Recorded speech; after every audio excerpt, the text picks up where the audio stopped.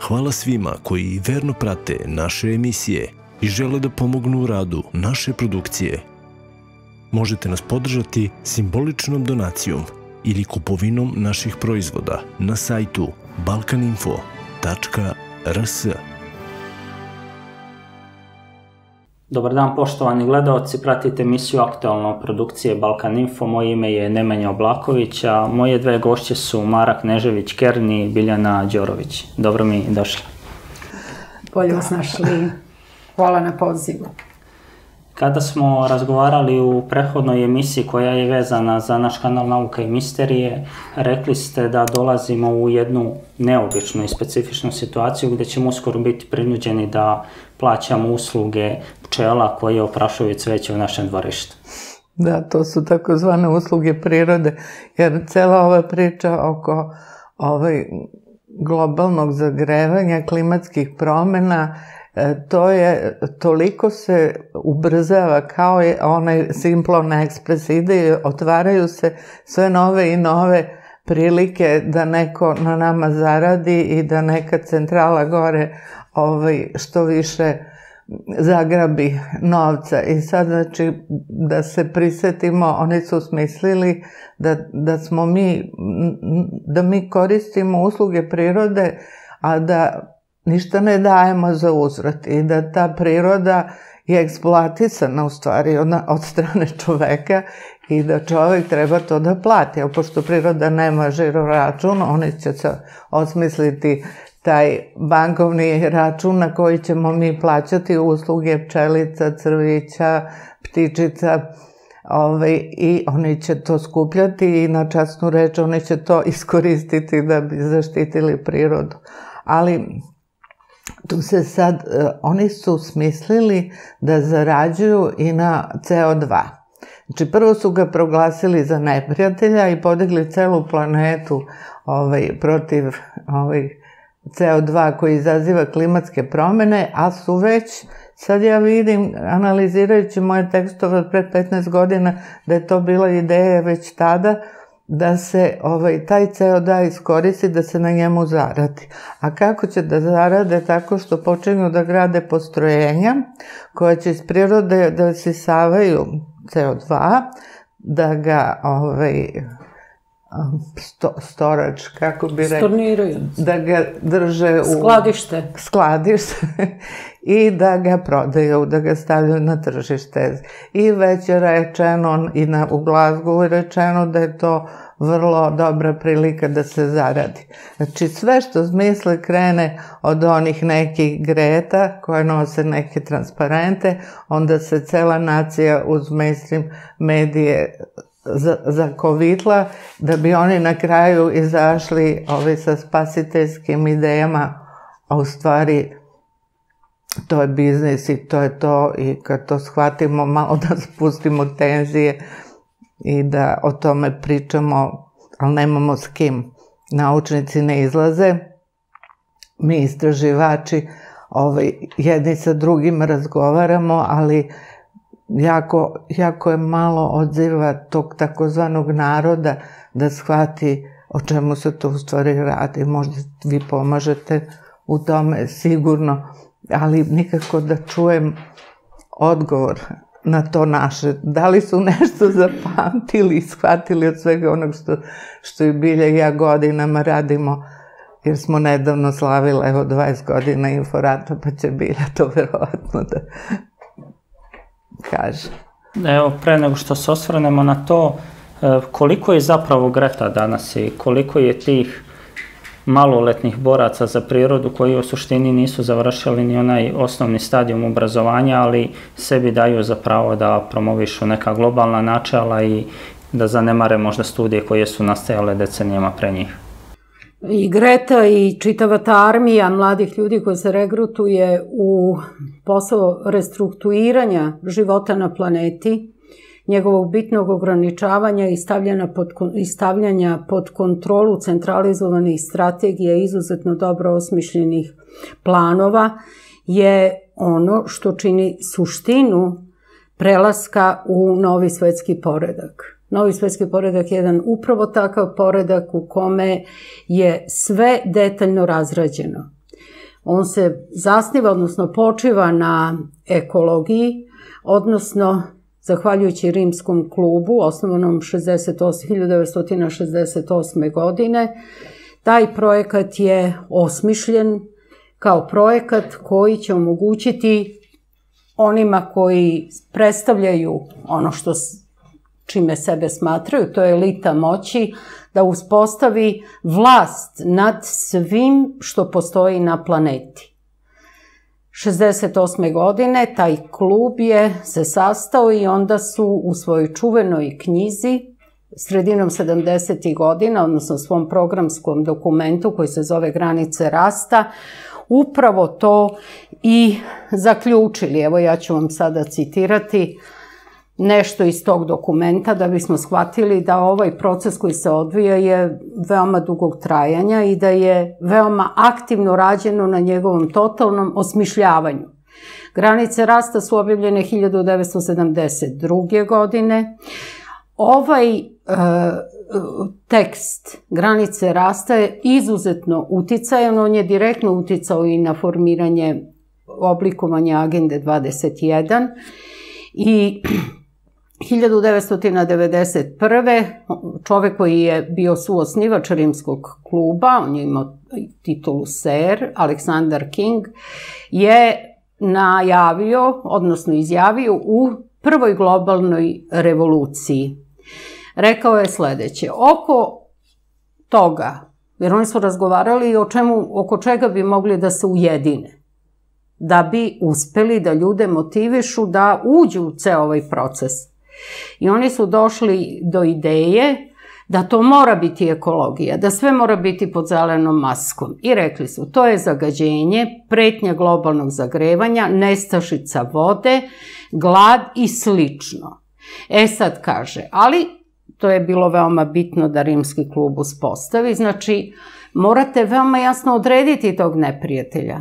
Neprijatelji nisu velike korporacije, nismo mi, neprijatelji su, neprijatelji su ljudi. Mi ćemo reći da su ljudi predatori, da su oni zagađivači, da su oni uništavaoci planete i tako ćemo ljudski rod proglasiti za neprijatelja. Znači, kada imate takvo određenje neprijatelja, šta odmah imate? Populacijonu kontrolu. A to je eugenika davno uspostavljena kao san ovih koji sebe vide kao iznad, kao nad rasu. I evo da ima odmah poručimo da jeste ima previše ljudi na planeti, a suvišni su oni.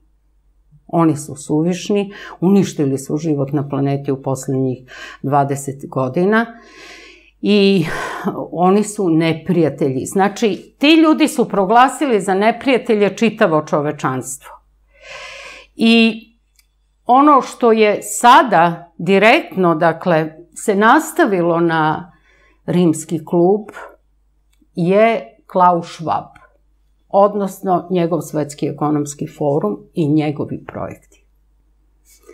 To je ono što se sada dešava i zaista ćemo evo u ovoj emisiji potruditi se, Mara je dosta o tome pisala, njena knjiga Vračev šegrt i moja knjiga Inforatnica su neko uh, štivo koje svako treba da čita i analizira. Tu su tekstovi, tu možete naći ta dokumenta, tu možete da se suočite sa velikim brojem analiza, jer je najvažnije danas biti ovca, a upravo je jedan od emblema kojima se koriste ovi globalni predatori vuk u jagnjećoj koži.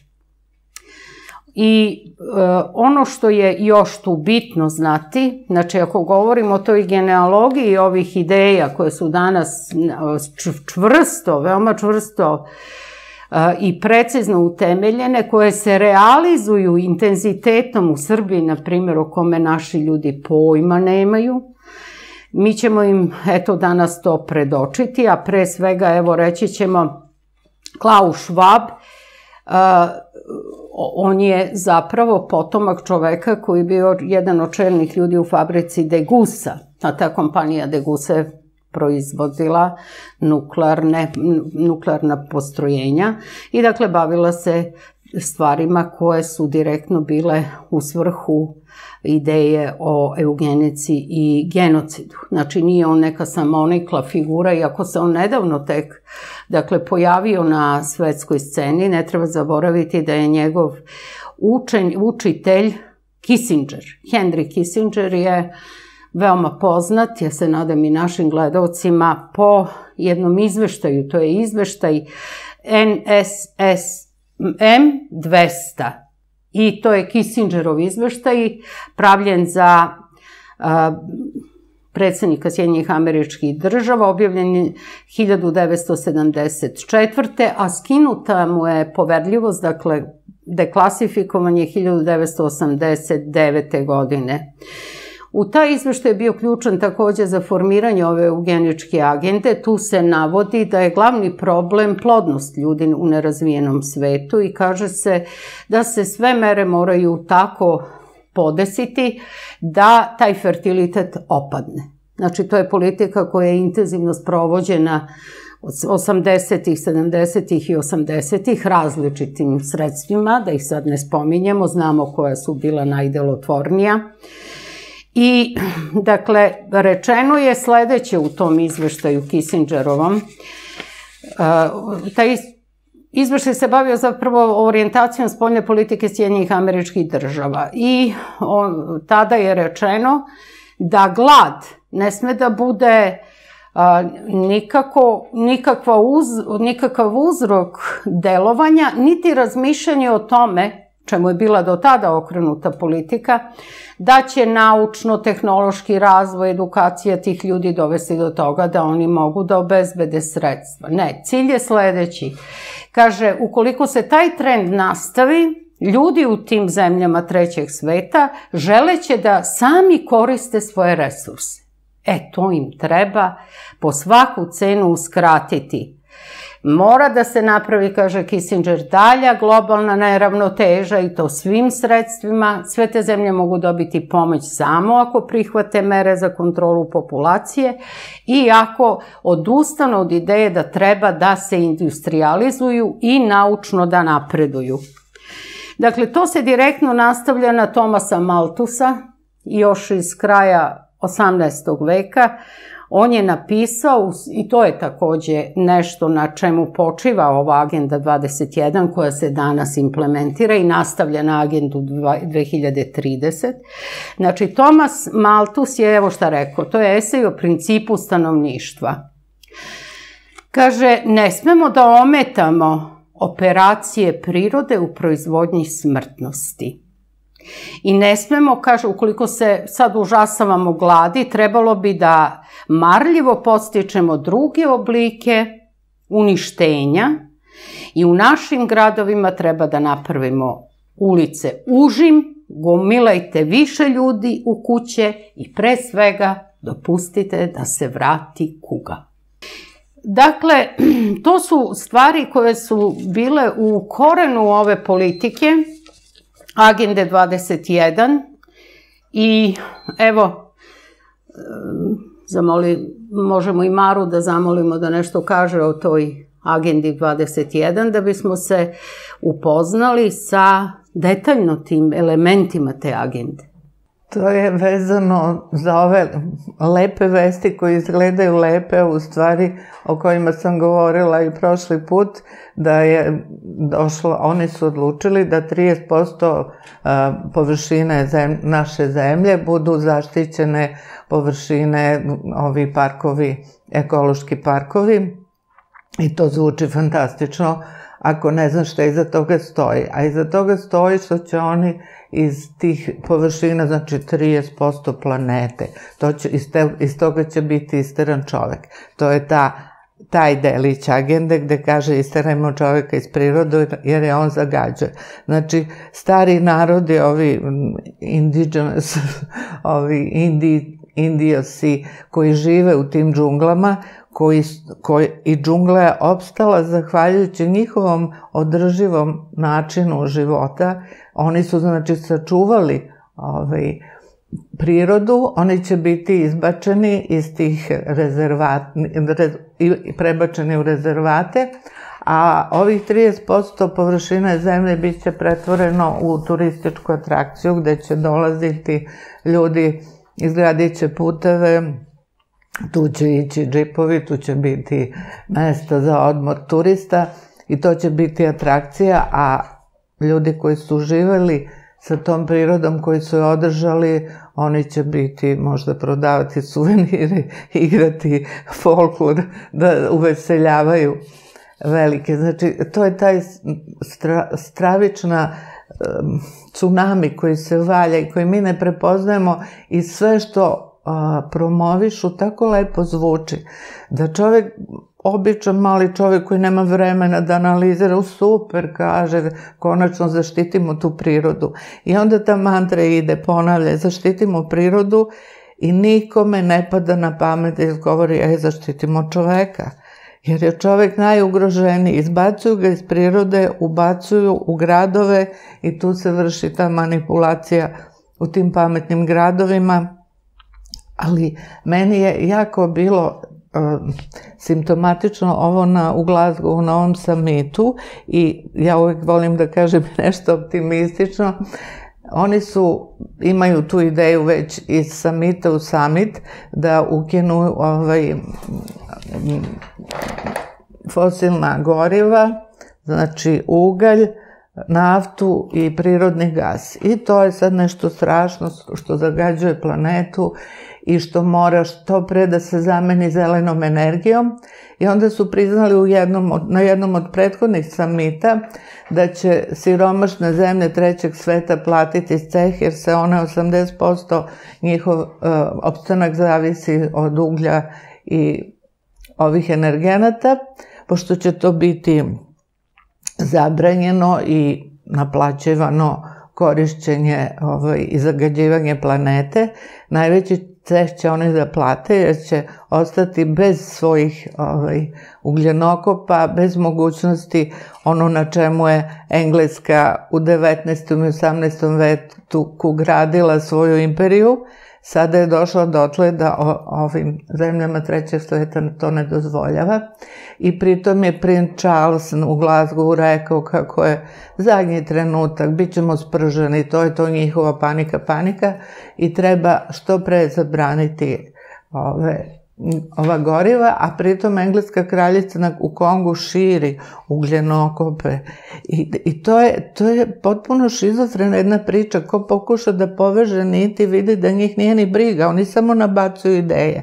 I onda nas je u stvari trenutno spasao predsednik Indije koji je izašao na pozornicu i rekao dosta, nema šanse, Indija neće da dozvoli da vi nama ovaj, oduzmete mogućnost opstanka time što ćete nas reketirati jer su oni hteli da uđe u zapisnik na kraju da se podhitno zaustavi korišćenje uglja, nafte i gasa. A Indija je rekla, to ne, nema šanse, to je, samo, to je ubijstvo Indije. Narod, taj, prvo, ti energenti su toliko skupi, va, vetar i sunce, a i nema ih, i šta hoćete da nas vratite u praistoriju. I onda su napravili kompromis, ali opet dobijamo u vremenu da su rekli ne, ne prekinuti odmah, nego odmah početi sa smanjivanjem. Ali dobro, ako se budemo borili i budemo svesni da ovaj, u kom pravcu to ide, kupovanje vremena uvek na kraju, ako se borimo, se isplati. I ovaj, sad ne znam da je sad da kažem u vezi toga, da opet ima nešto optimistično, jer u celom tom ludilu tu, tu nema sistema, oni pokušavaju, imaju svoju agendu, ali e, život okreće stvari. Recimo, u, u Japanu e, isto je naredba stigla nema uglja, nema nafte, nema gasa, pa čak ni, malte ne, ni nuklearke još nisu ni pokrenuli. Japanski centar za ovaj, e, kako se baš zovu, isko, oni su iskoračili iz sporazuma o ovaj, prestanku korišćenja ugla zato što je prvo, energija vetra i sunca uopšte nije dovoljna za, za potrebe Japana. Drugo, ta energija je toliko skupa da apsolutno sva privreda bi stala, bio bi nemoguć opstanak. I oni su uslovili sve banke i finansijske organizacije koje su odbile da podržavaju dalje ovaj, tu industriju proizvodnje ovaj, gasa, nafte i fosil, uopšte fosilnih goriva, Znači, banke koje su odustale od finansiranja, oni će sa njima prekinuti saradnju, a to su penzioni fondovi i neke vrlo moćne finansijske organizacije koje su se osvestile i rekle ne. Znači, grunuli su oni, ali život je jači. I sad to isto se dešava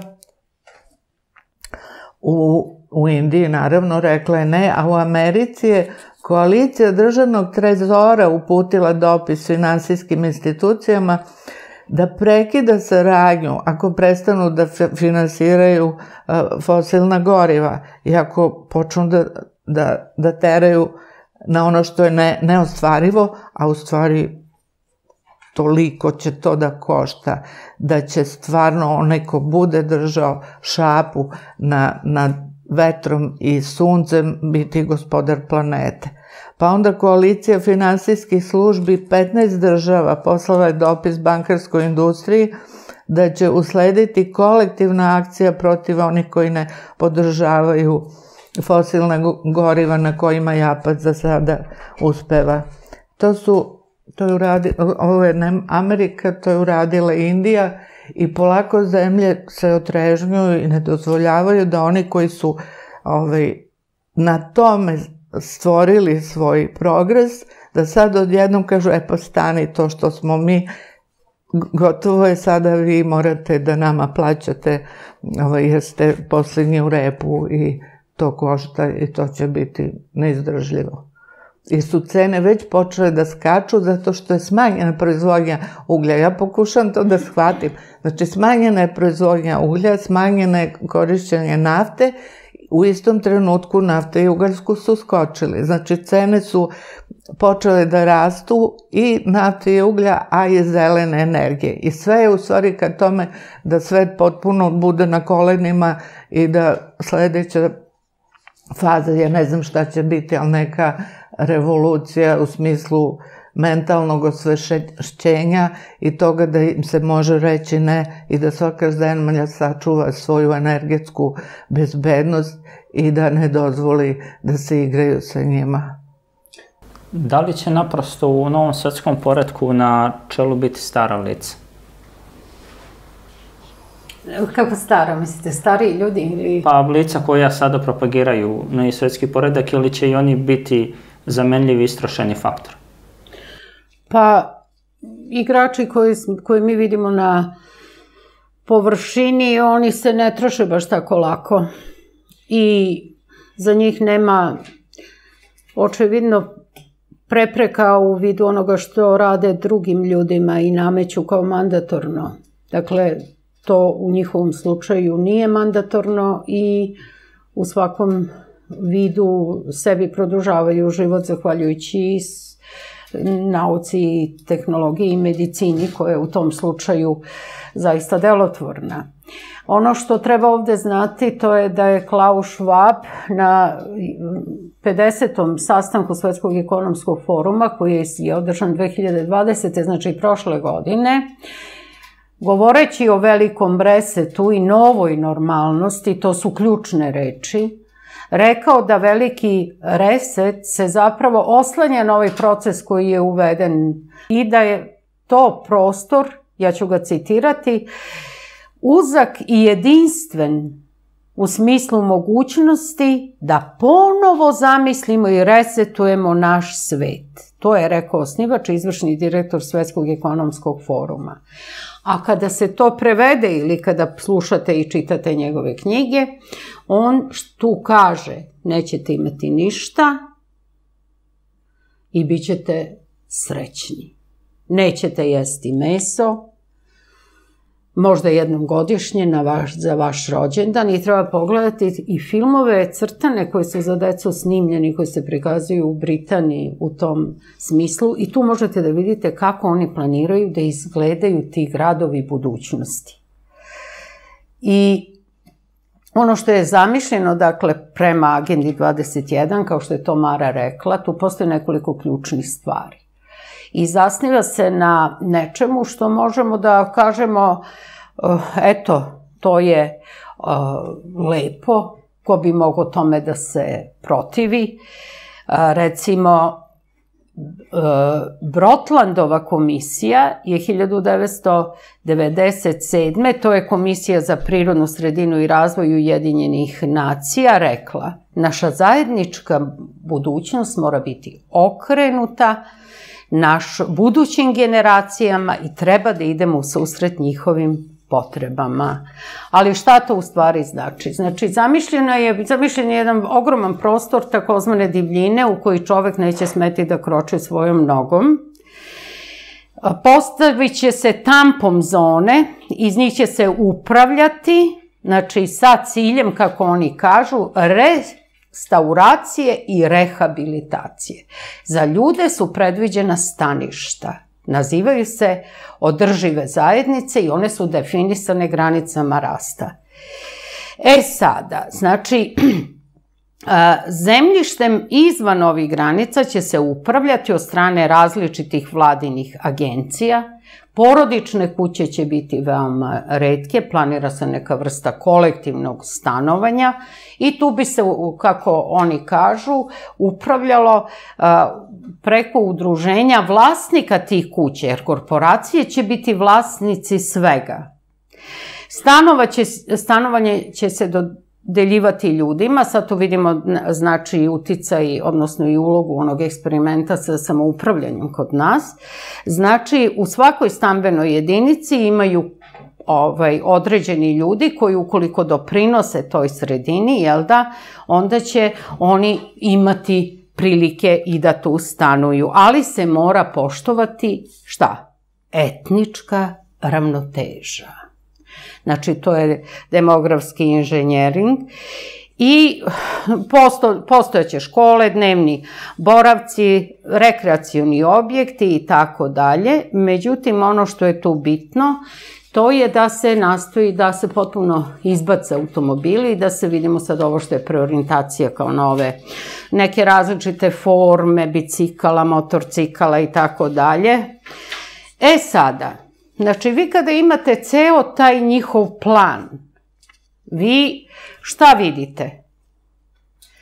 A ljudi kod nas to ne znaju. Znači, to je ogromno izmeštanje svega onoga što se tiče ljudskih zajednica, ljudskog života, iz ruku, odnosno iz mogućnosti da time upravljaju sami ljudi. To su globalni planovi i znači imamo potpunu transformaciju procesa kreiranja politike.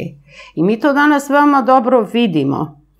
Znači, individualna kreativnost, sloboda i, i, i uopšte zakoni tržišta prestaju da postoje. Sve se pravi Znači, sve je detaljno napravljeno, sve zemlje gravitiraju i, pa, i prestaju da budu praktično države i postaju deo određenih regija. I zakoni, uh, zakone donose, zakone donose oni koji su uh, zaduženi za to u tim globalnim strukturama, znači njihove birokrate. One donose te zakone a nema nikakvog, znači njihovi profesionalci i birokrate. Oni tu donose zakone, onda ih daju samo na usvajanje političarima u određenim zemljama, dok to bude bilo potrebno, ta gluma da se održi. Umeđu vremenu, ako gledamo šta se dešava sa Srbijom, mi zapravo možemo veoma lako da steknemo utisak da je globalni poredak nas odredio za potpuno žrtvovanje.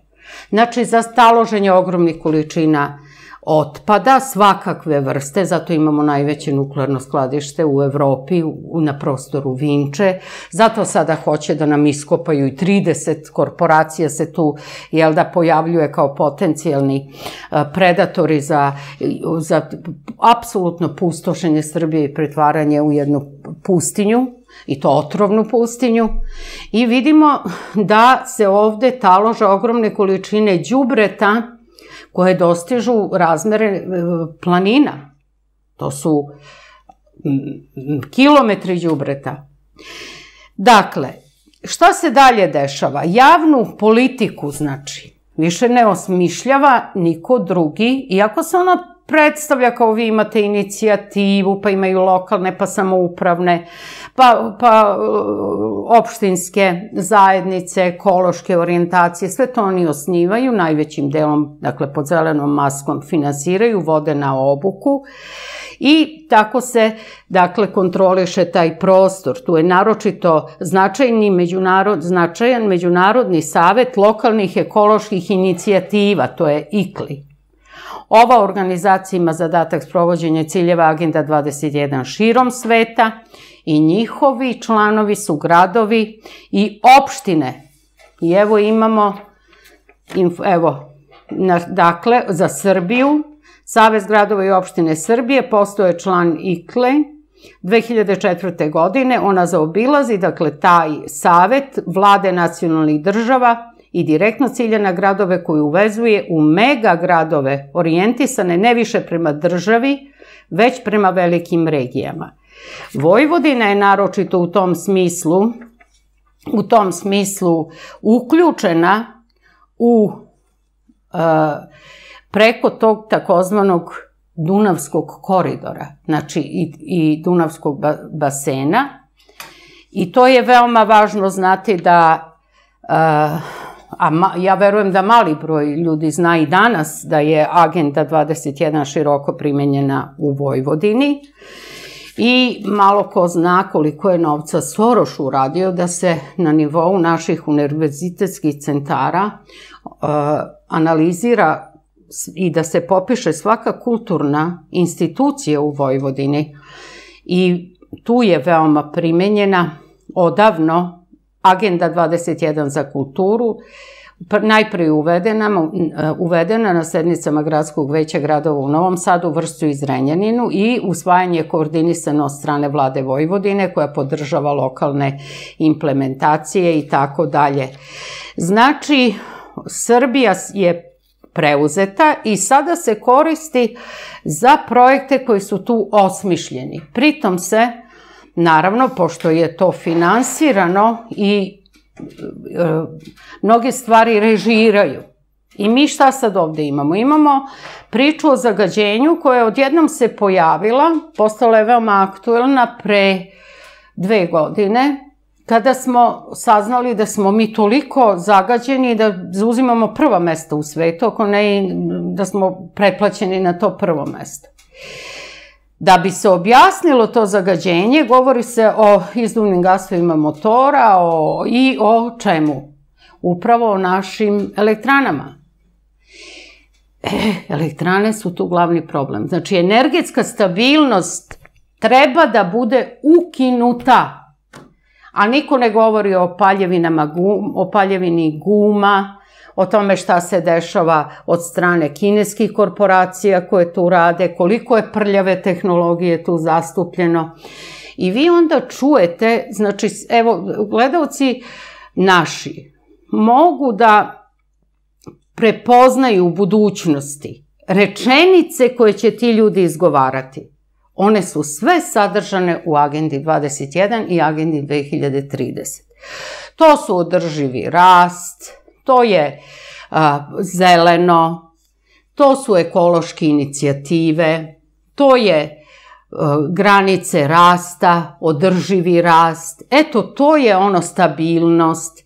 I šta se dalje dešava? Znači, najvažnije im je da izbiju svu energetsku stabilnost i da unesu e, ta neke oblike energije koju će oni potom, jel da, tu prodavati, primenjivati, zarađivati pare. Zatim, Pogledajmo sada, zašto se, ovo su razlozi zbog kojih se menja zakon o referendumu i ekspropriaciji. Zato što se tu direktivno uređuje da se sve, znači ono što su u prostori ljudskog stanovanja i u privatnom vlasništvu, može eksproprirati na osnovu ove, jel da, javnog dobra, priče o drživom razvoju i tako dalje. Sve to lepo upakovano može, dakle, naročito mladim ljudima, delovati neobično privlačno. To jeste privlačno, ali iza toga se krije nešto sasvim drugo. Znači, sve što postoji na planeti postoje vlasništvo korporacija i uključuje se u ovaj projekat. Tako da mi danas imamo na sceni jednu situaciju koju treba vrlo dobro da razumemo. Mi moramo da pratimo tokove novca i upravo da ispitujemo kako se uklapaju u agendu 21 svi programi koje te ekološke organizacije nama plasiraju, jer evo, i mi smo, i ja i Mara uključene u ove ekološke proteste i programe već 20 godina. Ali naši protesti... Bez finansijera i fondova. Bez finansijera i fondova i sve ovo što govorimo, dakle, i pokušaj da se tu stvari shvate na pravi način, uh, oni ostaju bez odjeka. Ali ne samo mi, nego i druge ekološke organizacije koje su i tekako okrenute pravim, znači, ko ne bi vodio računa, zašto ne bi vodio računa o svojoj zemlji, ne samo o svojoj, nego o planeti, svakome je to u cilj. Cilj mu je da pije zdravu vodu, cilj mu je da jede dobru hranu, ali tu vam je, znači, Bilderberg i, i, i naročito Tavistok institut je uključen u to, da se plasira veganstvo. Znači da ljudi ne jedu meso, da odustanu od mesa. I sada ćete slušati sledeće. Uh, Znači, sve je to divno, osiromašeni uranijum je dobar za sve nas. Kako smo mi mogli da pričamo da taj osiromašeni uranijum ne izaziva neke zdravstvene probleme? Potom uvešće se takozvano biođubrivo. Biođubrivo je u stvari radioaktivni mulj. I to se plasira kao biođubrivo, to je krenulo najpre, ovako razotkrivena je ta igra u Sjednjim američkim državama i Remtom i Stauber su napisali knjigu uh, Radioaktivni mulj je dobar za sve vas. I to je zapravo opisano kako je to postalo biođubrivo. To će se reklamirati, dakle, kao biođubrivo, a naravno ima ga jako mnogo kao produkt rada tih kompanija i posebno su kineske veoma zainteresovane da to plasiraju. E sada potrebno je znači da vi zakonski tu regulativu i legislativu podesite njihovim potrebama. I šta sad? Mislim, ekspropriacija znači mogu da vam uzmu šta god hoće kad god hoće i da uopšte ih nije briga za to, a vaš će eto ostaviti bez onoga što ste recimo generacijski stekli i poslati vas u ove e, zajednice za... Staništa. Sta, u pri, o, staništa. I tu morate da ispunjavate uslove I šta ćemo slušati? Znači, meso je štetno, naši ljudi ne umiru od toga što nas truju po ceo dan, nego od toga što jedu meso. Ja sam čula jednog od njihovih eksperata koji je rekao ja sam ekspert, imam toliko i toliko naučnih radova, ponavljao je non stop sve ove mantre, neću da otkrijem njegov identitet iz određenih razloga, ali on je ponavljao ove mantre i onda je rekao jednu rečenicu, šta? Ne, ovde ljudi, kaže, stradaju zato što jedu meso i zato što piju rakiju. A, to je sledeće. A da li će u budućnosti naprosto i postojati privatna domaćinstva? Pa eto, to počinju na vrlo perfidan način od krave. Znači, udar na kravu je toliko ovaj, bestidan i toliko se prime u stvari kod te te grane ekologa koji su iz čisto humanih razloga, ne iz zdravstvenih, rešili da odu u... Uvek su postali vegetarijanci nikog nisu opterećivali, niti su nosili neke zastave i transparente, živjeli svoj život, postojali su makrobiotičari i razni e, ljudi koji su na razne načine prihranjivali se po sobstvenom izboru, ali vegani su jako agresivni i zbog toga stavljam pod sumnju celu tu priču da je ona od nekud uh, organizovana i kad krenemo tim putem dođemo do krave koja je proglašena za najvećeg emitera CO2 i ta jedna krava ovaj, šteti planeti i ona mnogo pije vode i mnogo pase travu i mnogo ovaj, i kravu treba skloniti kako bi se smanjilo uticaj CO2 na klimatsko zagrevanje i, i cela ta priča je toliko, to ko paukova mreža. A ti kad pogledaš iza toga vidiš da je krava bila oslonac domaćinstva u tom seoskom vekovima. I baš sam nedavno videla, postavili su ovaj, na Facebooku ima fotografije, ja volim moj Beograd i tako, i tu je bila fotografija seoskog domaćinstva, bake, deke, dečica i doveli su kravu pred, pred fotoaparat i to je toliko dirljivo, jer ona je deo domaćinstva i ta kravica je sve te jadničke koji su i bez cipela i onako siromašno obučeni, krava ih je održala. I oni su udarili na kravu, tačno znaju gde je temelj civilizacije naše. I kad krava ode, nestaje seotsko domaćinstvo, nestaje, ljudi se znači povlače u gradove, jer šta će da radi na selu ako nema kokošku, ovcu, kravu, čemu će služiti pašnjaci, e, to će biti ta zaštićena ovaj, eko, ekosredina u kojoj će dolaziti samo turisti i u kojoj će biti poneka kuća nekog jako uticajnog globalno igrača. I znači to ako mi dozvolimo da nam ta priča ispere mozak i da prihvatimo da nećemo kravu, da nećemo mleko, da nećemo meso i da nećemo rakiju, jer to u Evropi već je nezamislivo da neko peče rakiju. Naša svako domaćinstvo u selu ima svoju ovaj, tu opremu za pečenje rakije, ima svoj šljivik, to je znači ta priča, meso i rakija. Znači to je sledeći korak i kad se nađemo za godinu dana već će biti zakon o zabrani pečanja rakije. I ti bukvalno od čoveka koji živi i vraćaju se mnogi u prirodu kao i bilja i pokušavaju svoje vinograde da ožive i da peku rakiju i da nabave neku kravicu ako može. To je sve, to će sve biti posao uzaludan ako se ne osvesti ovaj, ljudi koji i nas slušaju jer nemaju gde to da čuju. Me, mediji su potpuno ne znam da su manipulisani, ali oni nemaju pojma o čemu pričaju. Oni love teme koje su in. Zeleno je in, udri, ogroman naslov, krave zagađuju planetu. Ne, nemoguće je govoriti, ošte problematizovati bilo što u medijima. Ne moguće je samo, nemoguće. eto, na zelenim stranama koje, ure, koje uređuje i ispisuje Mara Kern zaista osvešćujući ljude. Znači, neophodno je osvestiti ljude. Sve će to biti pod zelenom maskom. Znači, sve će to biti plasirano ali ne više kao borba za celokupnu prirodu, nego će se čovek uvek označavati kao negativan faktor, crna propaganda protiv ljudi, mi smo ti zagađivači, ako mi ni sa čim ne zagađujemo ništa, onda vidimo ta borba protiv CO2, to je borba protiv osnova na kojima život počiva.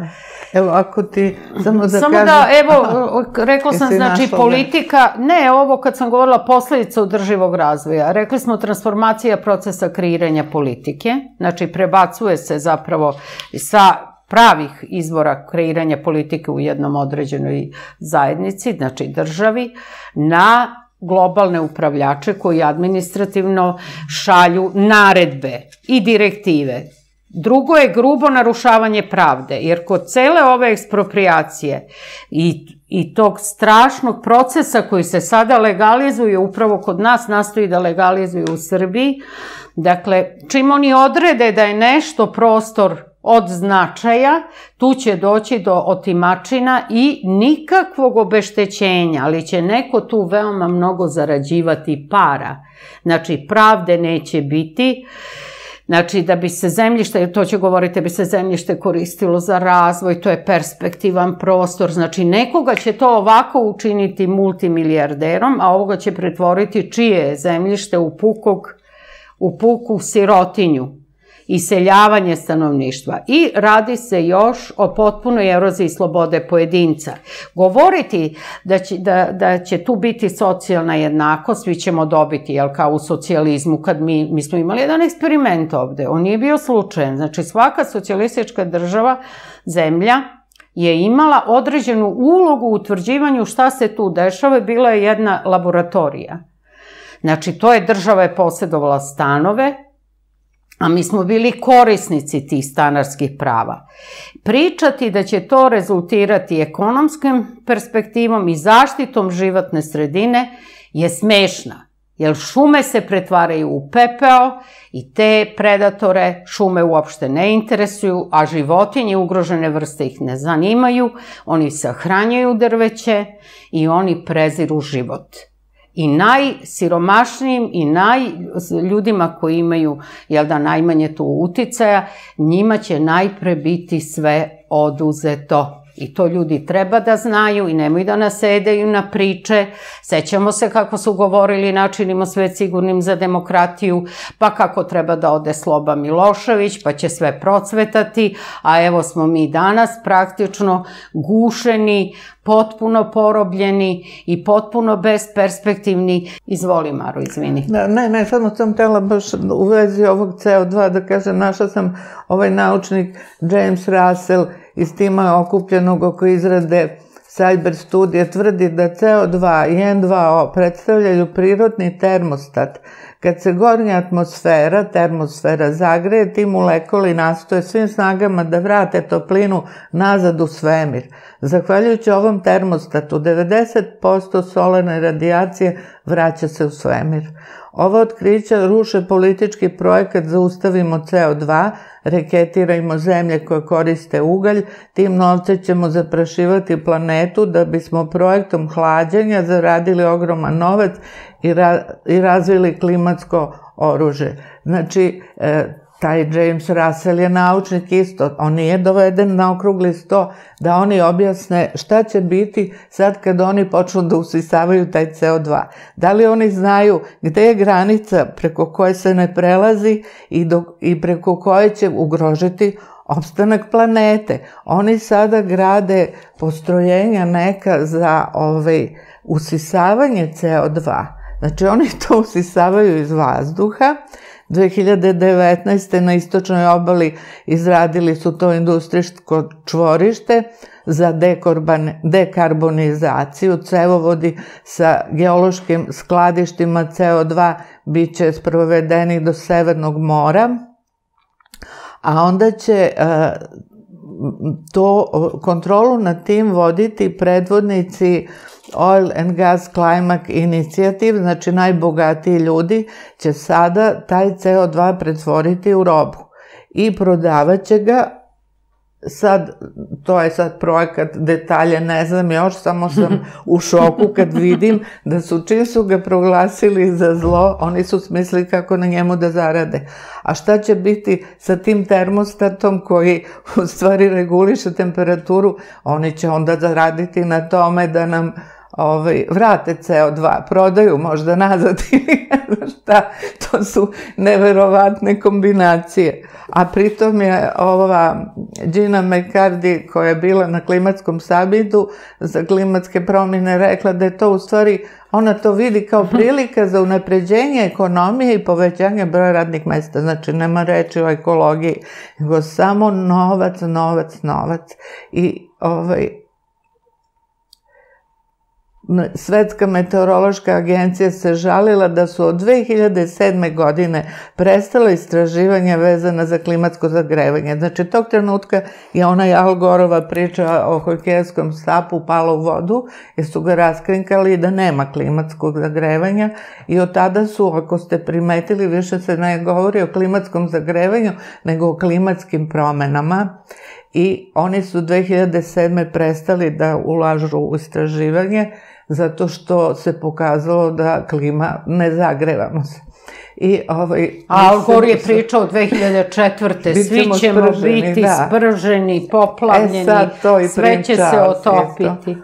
Tako da je to takva igra, sve što su predvideli do 2015. da ćemo goreti, nije se dogodilo, ali oni i dalje guraju tu tu mantru, a glavni izvođači radova, ona pešadija su te ekološke nevladine organizacije koje besomučno izlaze na ulice i tačno se vidi, kažu baš ovi analitičari, sve što oni napišu na taj, na taj svoj transparent već je provereno i ovaj, data saglasnost da to tako piše. Nema tu spontanih, ovaj, spontanih poruka Tako da su oni isto iz određeni, to kad bi se krenulo da se vide iz kojih centara dolazi novac, jer nije, nije jeftino postaviti billboard sad. Bilje i ja smo mogle nekako do megafona da dođemo i eventualno šta smo još imali, neki mikrofon. To je sve. Pa svi oni imaju billboarde, oni, oni se organizuju i kad vidiš ko je to, to je sve viša klasa, to su ljudi skockani, tu nema neke sirotinje koja je osvršćena i plaši se za budućnost planete. Ne, samo su oni tu eksponirani koji su i finansirani. I da prestanu da nas zaluđuju sa ovaj, da počnemo da skrivamo, da po, povlačimo tu zelenu zavesu i da vidimo šta iza toga stoji. Jeste dok se nama servira Ovo sve što se servira, uključujući čist satanizam koji preovladava svuda, uključujući bezbroj svakoga dana Niče, ja bih rekla jedan, jedno tuce kockarnica, dakle tako se nastoji da oblikuje naš narod, dok ostaje potpuno sluđen u ovim procesima medijskog zaglupljivanja, dok se deca uče e, gradivima koje pišu strani učbenici, koji pišu stranci i to naši neprijatelji, dotle se odvijaju te stvari koje vi nećete naći u tim medijima. Evo recimo zašto mi ne možemo u medijima da pročitamo šta je to Zeleni Beograd do 2030. godine. A to je upravo Međunarodni savet za lokalne ekološke inicijative, ICLEI koje smo govorili, je tako? To smo govorili o tome. Znači, grad Beograd je na javni uvid dao akcioni plan za zeleni grad i akcioni plan za održivu energiju i klimu do 2030. I evo sad da vidimo ko finansira. Vlada Japana i Evropska banka za obnovu i razvoj finansirali su izradu dva strateška dokumenta, čiji su nacrti na javnom uvidu do 17. marta zajedno s pratećim izveštajima o strateškim procenama uticaja na životnu sredinu. I to je preneo portal Balkan Green Energy News. Oni imaju celu infrastrukturu o kojoj mi nemamo pojma. I onda sedimo i uopšte ne znamo dok se tu valjaju ogromne količine para. Dakle, da vidimo.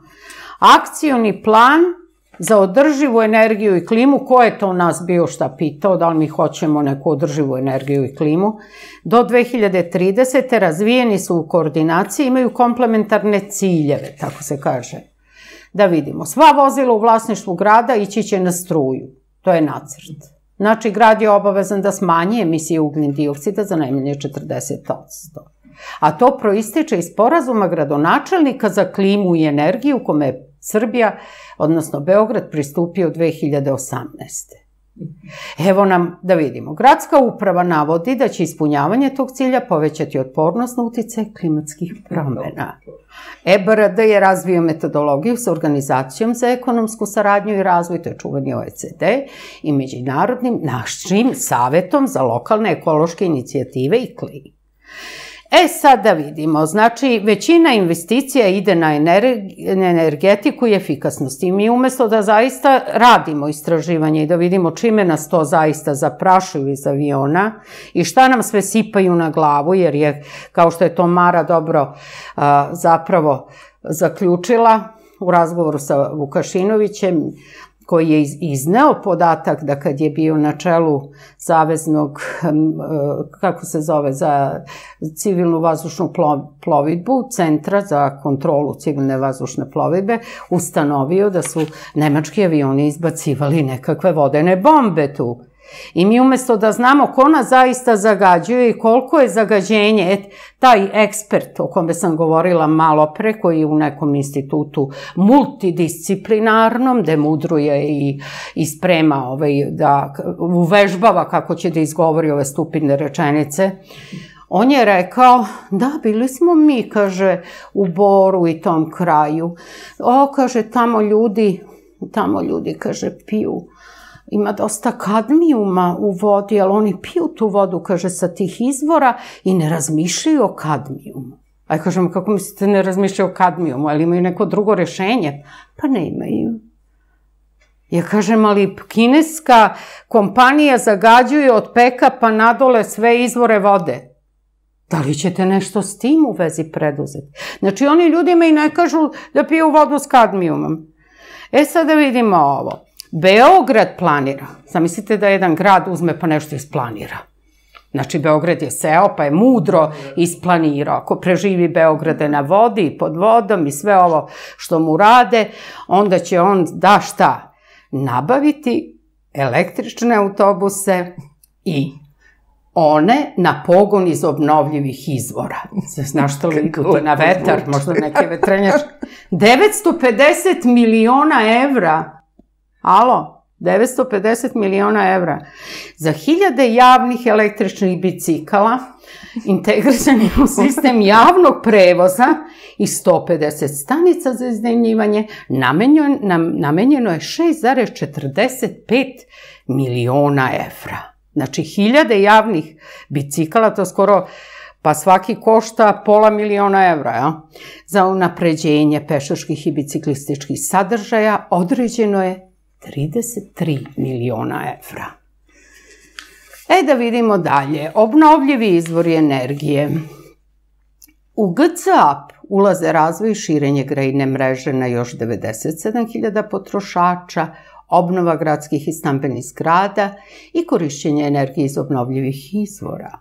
I tako, autori navode šta sad mi verovatno nećemo smeti ni da, što se kaže, prdnemo, jer to je jako štetno i opasno, ali dok to nam ne zabrane, evo, i naši ljudi nemaju pojma da smo potpuno ceo sistem ovde, da su ovo samo zli klovnovi na sceni koji glume i, paradiraju po tim medijima, izigravajući, sve dobijaju šta smeju, šta ne. Evo šta je horizontalna veza za Zapadni Balkan i Tursku. Da li vi to znate?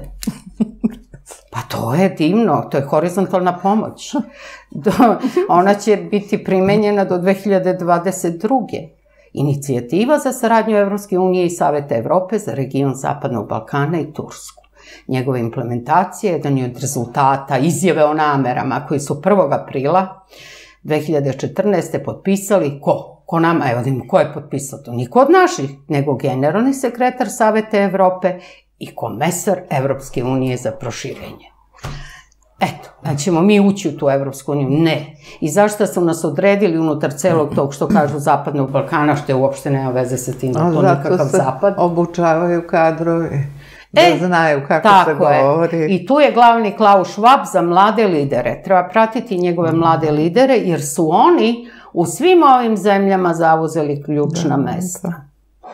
Ali kad je možda i za kraj. ne još. Htela sam da kažem da se ovi analitičari po Evropi i zapadnim zemljama već govore da treba izračunati koliko će ljudi umreti od hladnoće ove zime, zato što će ta energija biti toliko skupa da neće biti pristupačna 80% stanovništva. I da u stvari oni to verovatno i rade zbog toga da ovaj, konačno osnovne tekovine civilizacije oduzmu većine stanovništva, da ljudi kao, znam da je u Londonu pričali su ovaj, studenti ubaciš novčić i grejete pola sata. Ako nemaš još jedan novčić, sediš u hladnom, dok je u Sovjetskom savezu kad sam bila kompletna Moskva besplatno grejana i voda je bila besplatna.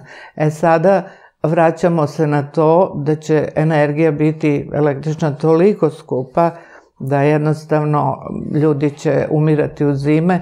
Japan se isto već plaši, njihove zime su hladne. Ja kažem, kakve su to klimatske promene kad imamo proleće, leto, jesen i zimu, iste ko što smo imali pre 100 i 200 godina s malim nijasama. Kakve mi to klimatske promene treba da plaćamo ceh i da nam udaraju ovaj penale jer nismo organizovali gradski život prema njihovoj agendi.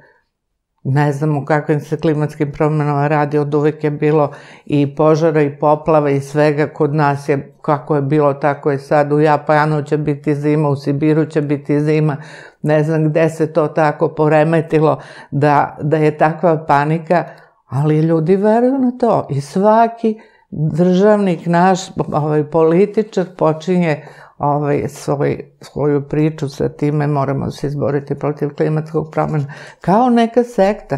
Mislim, uopšte ne znam da će se pojaviti neko da vikne ljudi, aman dosta. Jer, kažem, nije, nije ni ranije bilo mnogo bolje, ako nije bilo i gore, jer se sećam Zaharija Trnavčevića, legende, poljoprivrede koji, ne znam, vi ste bili mali tada kad je Zaharije držao svake nedelje svoje emisije o poljoprivredi i onda kažu ovi u apoteci poljoprivrednoj odjednom u ponedeljak dođu ljudi i kupuju samo jedan pesticid za nešto. I ja, kaže, znam, odmah Zaharije o njemu pričao u svojoj emisiji.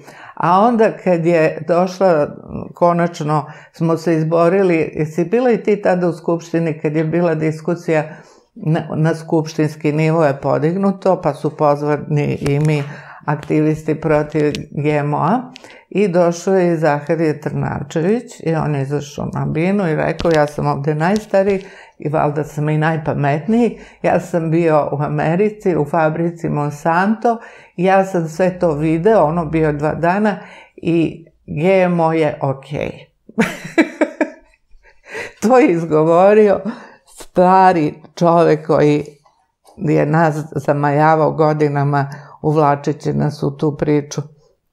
Eto, kažem, uvek se nađe jedan ko postane harizmatičan i kome se veruje, a sada je to nekako malo i banalizovano, nekako nemamo heroje više, ni, ovaj, ni akcije, ni reakcije, sve se to... sve je inženjering globalni. Da. Ali dobro, ipak nikad se ne zna. A da li je sam novac koji je spomenut nekoliko puta vi kada ste iznosili cifre i vi kada ste rekli da će doći do određenih transakcija glavni motivator svih dešavanja? Pa naravno. Novac je izuzetno važan, ali tu je i iznad novca, dakle jedna iz, velika potreba kod tih ljudi da vladaju, da uspostave svoju dominaciju i da budu apsolutni kontrolori života i smrti na planeti. To je veoma bolesno, ali i izuzetno primetno, pošto se radi o generacijskim, psihopatološkim tipovima koji su porodično, dakle više generacijski okrenuti ka eugenici i čak nalazili su se njihovi roditelji, kao što je to slučaj sa Billom Gatesom na čelu zapravo tih projekata. A ono što je jasno, znači Ne znam da li su naši slušalci i gledalci upoznati sa tim da je 3. novembra 2021. godine u svečanoj sali Srpske akademije nauka i umetnosti održan skup, odnosno ciklus, jedan od ciklusa predavanja kontroverza u medicini, eutanazija, pravni, teološki i psihijatrijski aspekti. Predavači su bili akademik Dušica Lečić-Toševski, Ona je govorila o psihijatrijskim aspektima eutanazije. Profesor dr. Violeta Beširević, legalizacija eutanazije kod nas i u svetu, revolucija ili status quo. Profesor dr. Bogdan Lubardić, crkva i pitanje eutanazije, teološke refleksije.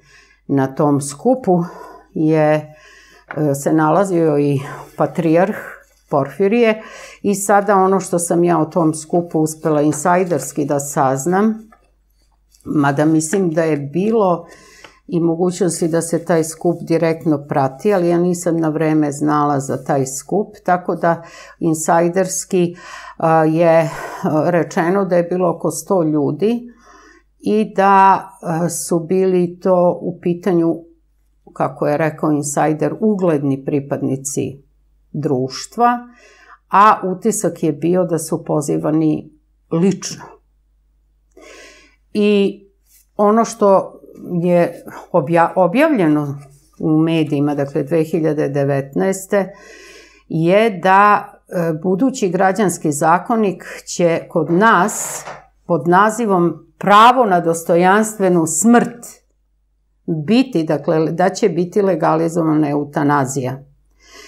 I to je zapravo ono što je izuzetno izuzetno, rekla bih, jasno i jer eh, mi bi tu trebalo da budemo, kako je politika to predstavila, da budemo dovoljno napredni, da omogućimo ljudima dostojanstvenu smrt, jer je to pravo do sad legalizovano u Švajcarskoj, Belgiji, Luksemburgu i Holandiji u Evropi. Ali mi bi eto to trebalo da legalizujemo i ono što iz, iz insajderskih takođe izvora o tome šta se dešavalo na tom skupu, Dakle, Srbija treba da bude napredna zemlja koja će ispod žita, jer ljudi nisu sa tim upoznati, o tome se javno ne govori.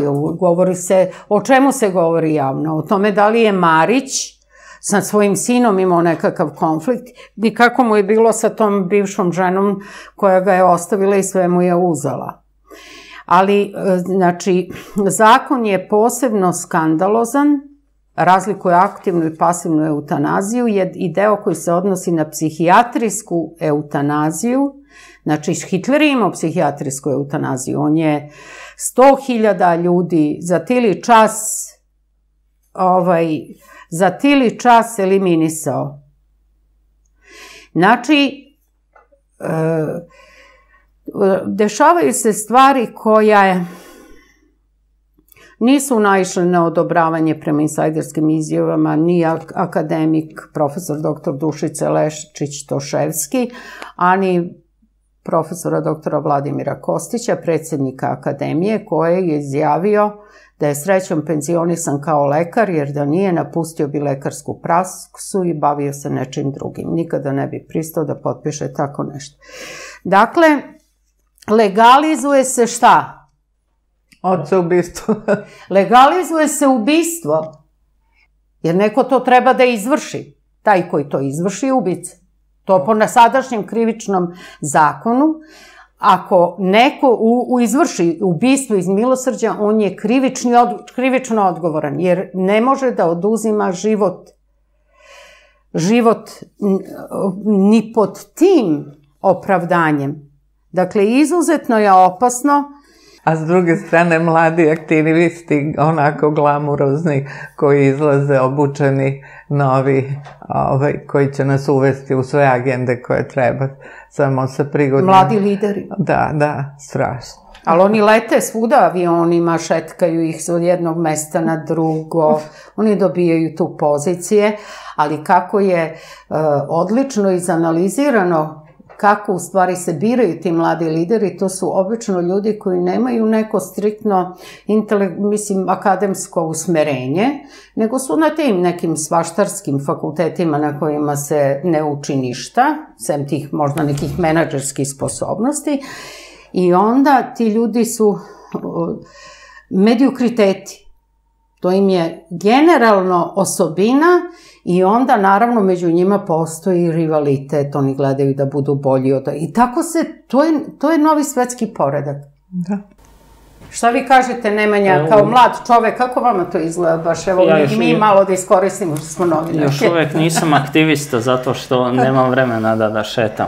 Ne, ali kako vam izgleda, ne kažem to, nego kako vam izgleda pozicija mladog čoveka danas? Pa koliko... Pa dobro, svako bira kome će stadu pripadati, jedina je razlika kako čije zvonca zvoni. Eto, u jednoj rečenici. Mudar odgovor. Da li ste možda razmišljali o tome da potencijalno kada smo već kod teme aktivista, veliki broj tih mladih ljudi ne zna u čemu sudaluje? Da, većina ne zna, oni su dobro deca, istrčavaju kao, e, hoćemo čist vazduh, ajmo, hoćemo ovo, onda vole da se druže, onda vole da tako tu se nešto popije, pa se šale, pa tako, mislim, imam unuka 17 godina ima, pa ga pitam, ko izlazi na te ekološke i tako, Ma izlaze iz mog razreda dosadno. Im kaže ajmo se skupimo pa do, dogovore se ko će šta da kupi pivce, cigarice i tako. Što su to dobra deca, nisu, nisu, nemaju zle namere i odu tamo i prave nešto buku i odu kući, bilo im je lepo. Rekao, nisi vel da ti išao, ma kao, zar ti ja na to ličim?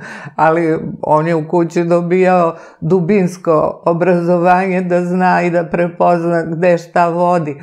Ali su sve to dobra deca. I, i dođe neki čika i kaže, aj sine, dobiješ stipendiju. Ko bi to odbio, ide tamo i krene brainwashing. Ono, da on na kraju veruje u svaku reč koju izgovori. Oni veruju, to je kao sekta. I ovi roditelji su verovatno tu ovaj, ti koji isto, isto budu uvučeni u tu mantru.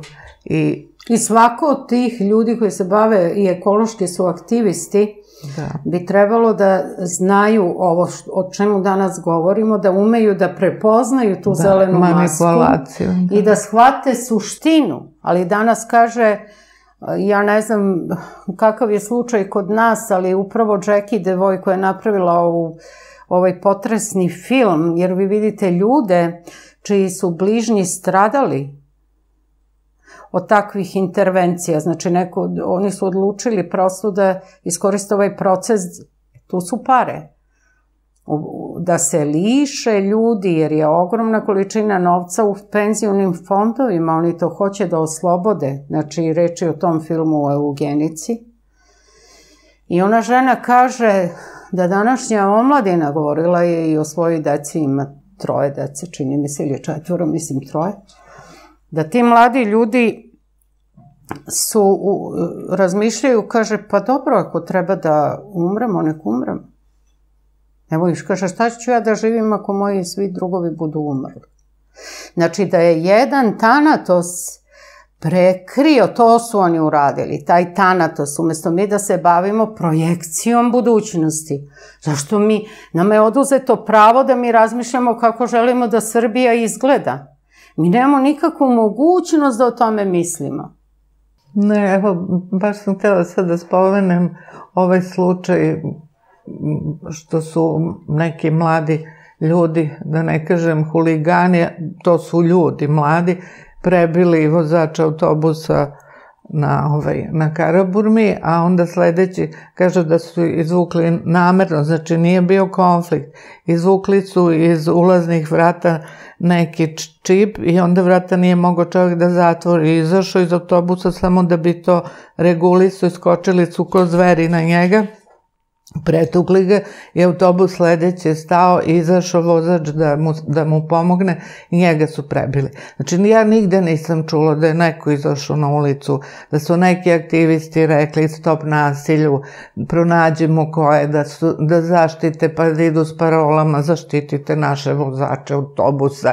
Mislim, to su neke male ljudske stvari. Pa da niko nije za autobusa, ja pitam kako niko nije slikao non stop drže to u rukama, kako nisu slikali huligane, puni su autobusi bili. Znači, tu je mrtvilo, neka, neka blokada ovaj, nastupila i baš pratim ta slučaj da vidim da li će iko biti potrešen od mladih ljudi tom situacijom da se pretvaraju neki ljudi u zveri. Koji su to? Znači, pusti njega, daj mu transparent, hoćemo svež vazduh, taj će da, da ubija, jer nema osjećaj u sebi. Znači, to, to me baš zastrašilo. Da bez ikak, bude nekad konflikt, te stao mu je na crveno, te ga je, ne znam, neko pogledao. Ovo je bio, znači, planirani linč. Ali to je upravo deo metodologije uspostavljanja novog globalnog poredka i on podrazumeva i, o, i e, oslobađanje kažnjenika iz zatvora i uvođenje te kontrolisane agresivnosti koja treba da postane upravo huliganska. Zatim, tu se sugeriše mafijaško upravljanje društvom i državom, znači da ljudi potpuno izgube bilo kako poverenje u to da postoji pravda, da postoji pravo. Što se ekoloških aktivista tiče, njima je sada dato da teroristički napadaju različite objekte i mogu da nasrću na njih, a ukoliko su na listi onih koje predstavljaju objekte, odnosno zagađivače, i da se oni ne kažnjavaju. Znači, oslobađaju se kazni. Uvodi se ta količina, jedna količina, jedan nasilja u ceo sistem i to nasilje je sveobuhvatno, Evo, pogledajmo, na primer, kako se e, kultura uništava. Jer kultura je izuzetno značajna i u kulturi se sve vidi. Kad je krenulo složavanje kulture u Srbiji, ona, je, ona se stropoštala niz paratpet. I sada imamo opet vladin projekat u oblasti kulture i kulturne industrijalce. I ako vi analizirate kakav je bio njihov rečnik, što sam ja jedno vreme radila, to su uglavnom dame u pitanju, to je takva količina psovanja i takva količina izraza koji su potpuno neprimereni, pa ih ja i neću ponavljati, ali to je neverovatno. Znači, to je plus o, sve što se uradilo u kulturnoj takozvanoj industriji u filmu i pozorištu čast veoma malobrojnim izuzecima. Išlo je na, na to da se mi, dakle, u identitetskom smislu potpuno promenimo, da nam se promeni svest i onako već promenjena u doba komunizma poprilično u odnosu na nivoje koje su doste, doste, dosezali srpski poslanici u ovoj oblasti ranije, Dakle, to više nikada i neće biti dosegnuto, možda se nešto promeni pa bude.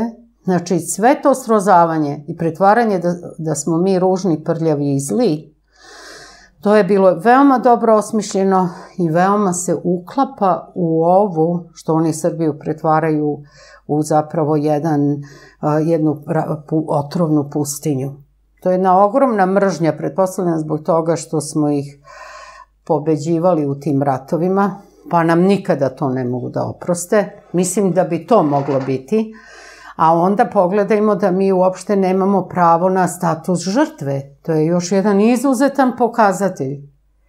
I to inicijative uh, udruženja preživalih logoraša za uh, obeležavanje dana sećanja na genocid na Srbima u 20. veku u Skupštini nije naišao ni na kakav odjek. To nije bilo u skupštinskoj proceduri. Mi nemamo ni jedan spomenik srpskim žrtvama. Evo sad imamo da se na nivou, znači svih institucija, zločini uh, umanjuju i to u takvoj meri da je to zapravo zastrašujuće. Ako mi nemamo taj pravo na statu žrtve, pa nećemo imati ni sad. Zato su nam ga ukinuli. I sada Srbija je među zemljama koja nije priznala ni, ni genocid nad Jermenima, jer mora da bude s Turskom u ovoj zajednici koja se tako lepo neguje. Znači, nis, ali šta reći kad ona nije priznala genocid nad, nad Srbima? A onda se, jel da, genocid pripisuje jednoj od najvećih žrtava genocida I najstrašniji genocida to je srpski narod.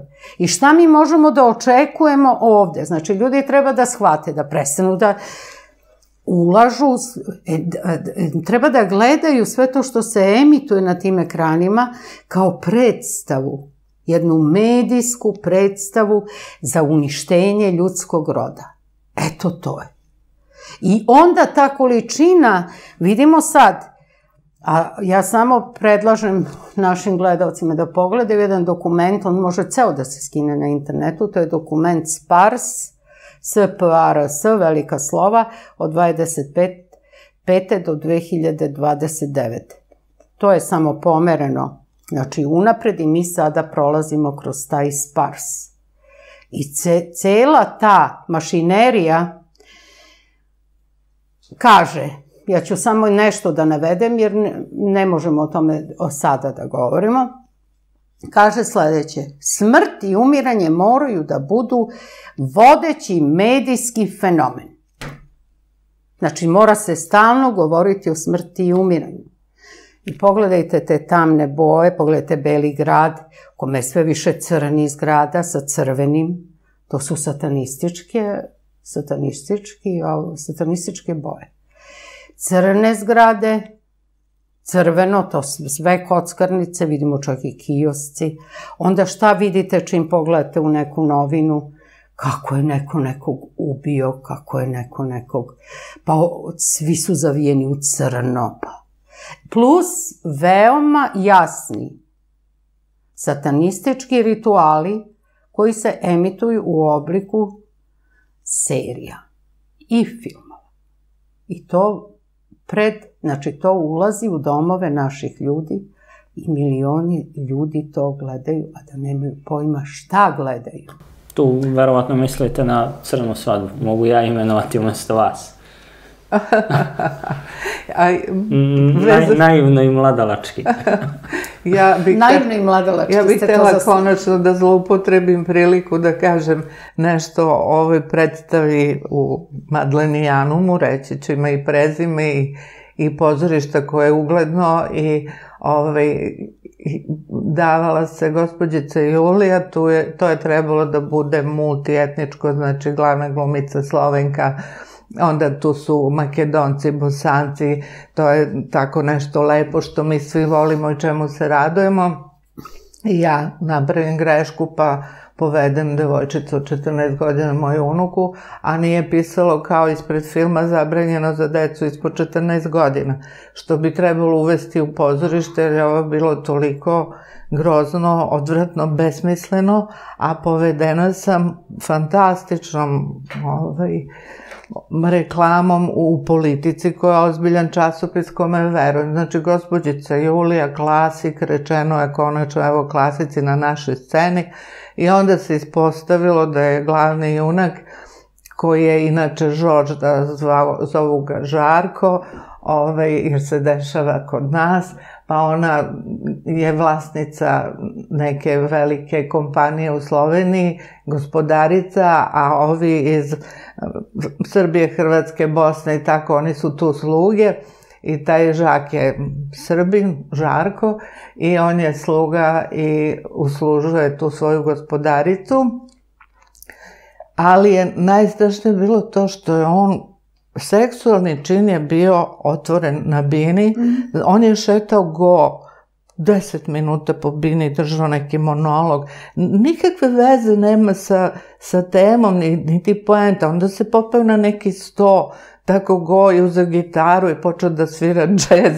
Mislim, besmislenost. A ona jadna ovaj, glumica je trčala oko njega, molila ga za malo pažnje da bi mu na kraju rekla molim te, ali bi daj mi bar da ti na oralni seks misla. Pred Znači, besmisleno. I moje dete me gleda i kaže šta... A baš se zove Juli, Juca. Julija Postrema. Unuka Juca, a otac Žarko. da. I dete je bilo u šoku i kad smo izašli, kaže, ja, ja ovde ništa ne razumem, rekao, ovo ti je novi kulturni poredak o kome ni jedne novine nisu reč negativno izgovorile. Pa mogle su bar da upozore, da kažu, jer da nisam gledala gospođicu Juliju Steve Žigona, koja je bila majestralno izvedena u Narodnom pozorištu, gde Ivana Žigo nijednog trenutka nije tražila oralni seks od jadnog žana, nego je ovaj, uopšte scena tog seksa nije prikazana, nego baš Steva je bio onako subtilan i rekao smislio sam da ona ode iza paravana i da pusti vodu. I svako će shvatiti asocijaciju da je tu nešto bilo. Pazi, koji je to nivo bio pre 20-30 godina i šta oni nama sad serviraju jednog žaka koji ide okolo i mlati. Ovaj, I onda su počele publika da izlazi. Ja to nisam videla u Beogradu pozorišna publika da bilo kad izađe sa predstava. Iako je bilo dosta predstava sa kojih je trebalo da izađe i to ne, sa najvećim da- gnušanjima. Da... Mara, Kern, Mara Knježević Kern je inače autorka jedne izvanredne knjige razgovora sa Stevom Žigonom i to svakom da preporučimo, neko mi je ukrao život. Da. Da li će neko ukrasti život i deci koja tek treba da izrastu ljudi i šta njih očekuje u budućnosti ako sada imamo ove predstave u Beogradu? Po deci je planirano da odmah se njihov život pretvori u ono, jer deca su njihova ciljna grupa. Oni na decu mogu da utiču, ali više ne samo ovaj, tim procesom obrade putem škola, televizije i tako dalje, nego baš direktno ovim svim merama koje se dakle sada mandatorno nameću svetu, tako da je centralno pitanje, pitanje mm, zaista naše budućnosti e, to pitanje da li ćemo to dozvoliti. Jer ako se to dozvoli, onda tu nema više šansi za ispravak, nema više šansi za dovođenje stvari mm, u normalu, tu više ništa neće pomoći. Znači, ja ne mislim da je ljudski rod nemoćan i nesposoban. Ja mislim da ljudski rod u sad, evo sad, kad bi krenuo, bi mogao da novi svetskom poredku zada daleko opasne i presudne udarce. Znači, mi moramo biti spremni na suprostavljanje tom poredku. Tu nema cene i nema ni razloga, jer ako mi dopustimo se deci to uradi, onda šta, šta, u šta smo se, o šta će, šta će biti uopšte od bilo koga, od bilo čega. Znači, to se ne sme dopustiti i zato je potrebno raskrinkavati šta oni rade. A fantastični su ti istraživači, evo recimo jedan od njih je i Mara Kern. To je ogroman posao razotkrivanja, samo bi trebalo sesti, mora da se posveti pažnja, nije to lako. Ali treba sesti, posvetiti pažnju, proučiti ove stvari. Mi imamo vrlo malo o funkcionisanju sveta e, knjiga u Srbiji. Imamo, evo, e, postoje emisije na, na još uvek ih ima, ali to će, evo, gledamo, gledam, baš sam htela da vidim taj sajt Roze Kori, koja je najveći svetski istraživač pod zelenom maskom agende 21. Ona je nedavno umrla i umrla je na, naprasno, kažu, od kancera. A e, njene emisije su sklonjene, ja sam nekoliko intervjua sa njom napravila, oni su objavljeni u knjizi Inforatnica, ali njeni intervjui su nestali sa, sa platformi na kojima su bile. Znači, nestali su. Su izuzetno značajne, značajne emisije, jer je tu bila objašnjena cela ta agenda 20 Jedan. A uvukli su se i učbenike za osnovce, ja to pratim i stalno ispred, ispred idem ko neki čistač i čistim i objašnjavam da to nije tako. Sad u pozorište idem prvo sama, pa onda vodim dete u bioskop, idem prvo sama, znači, ali nemaju svi snage ni vremena da se time bave, ali ja uopšte ne idem, znači ima na, još uvek na internetu i treba skinuti te stare, veoma dobre predstave, da. to, to deca treba da gledaju, ova pozorišta ne, neka hvala, to samo nekoliko vrlo malo predstava koje treba gledati, znači i ono što ljudi još treba da znaju, to je da globalisti sve patentiraju. I da ako oni promene nama, znači malo naš DNK, oni će moći i nas da patentiraju da, i da nastave u svoje te vlasničke strukture, vlasničke odnose, ali sve su redom ovaj, sve su redom oni patentirali i to je nešto što takođe bi ljudi trebalo da znaju za to. I o tome ima dosta reči u, u, u knjizi Vračev šegrt, da. kako to izgleda.